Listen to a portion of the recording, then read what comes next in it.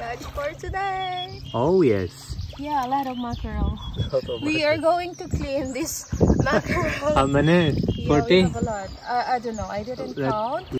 Today we decided to go fishing and it turned out to be a delightful experience. We did a little hiking going to the fishing spot and the place was really amazing. It's beautiful and relaxing. Peter caught 5 mackerel right on his first throw of the fishing hook. We were really surprised by the abundance of mackerel in this area so I also tried my luck. Up, up, up, up, up. Beautiful. Oh, fish on!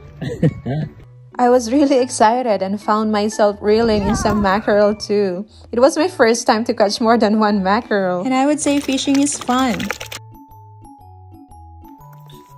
It was wonderful and fantastic days spent in nature. Bonding over unexpected fishing success. We're really grateful. And of course, creating treasured Wow, our memories. bucket is full.